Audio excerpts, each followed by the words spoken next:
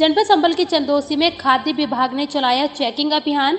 आपको बता दें कि कुछ ही दिनों में होली का त्यौहार आने वाला है, जिसको लेकर खाद्य विभाग भी सतर्क हो गया है। इसी के तहत आज जनपद संबल के चंदोसी में खाद्य विभाग ने एक चेकिंग अभियान चलाया, जिसके तहत खाद्य विभाग ने खाद्य पदार्थों के सैंपल लिए।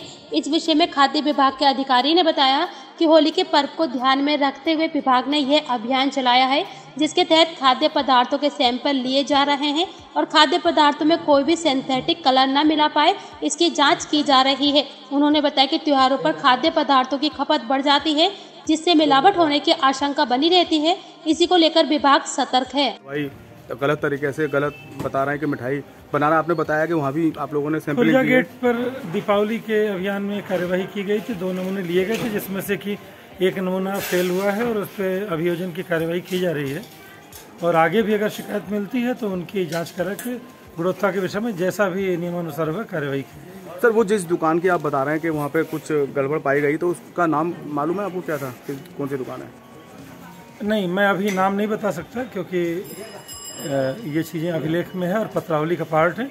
अगर अभियोजन दायर हो जाए उसके बाद हम पूरा विवरण आपको उपलब्ध करा देंगे। क्या नाम है आपका? दीपक कुमार। क्या हुआ आज आपकी दुकान पर मैं मेरी दुकान पर आज फ़ूड विभाग की टीम आई पूरी और कुछ सैंपल लेकर के गई है।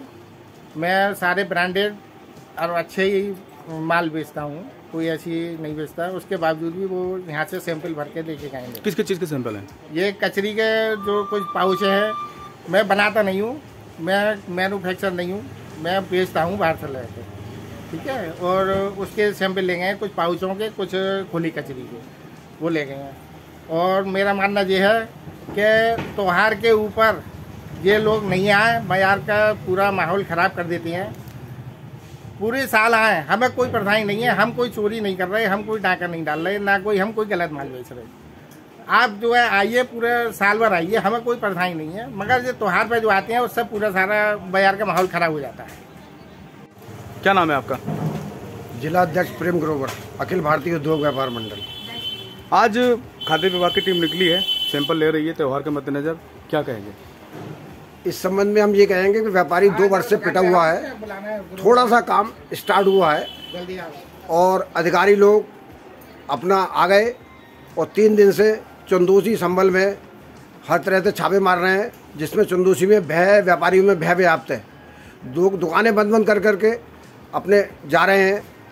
ये एक तरह से व्यापारियों का उत्पीड़न है और इसके लिए हम ऊपर तक लिखेंगे कि त्योहारों पे प्रोग्राम पर ही क्यों होता है? त्योहारों पर ये ही क्यों होता है? पूरे साल होना चाहिए कायदे में हो तो। अगर व्यापारी, वो अधिकारी निष्पक्ष है और सरकार की नीतियाँ हैं तो ये पूरे वर्ष होना चाहिए। एंड टाइम दिवाली पर या होली पर ही किया जाता है। हम इसका विरोध करते हैं और आगे उम्मीद करते हैं कि हमारे व्यापारियों को उत्पीड़न अधिकारी लोग नहीं करेंगे।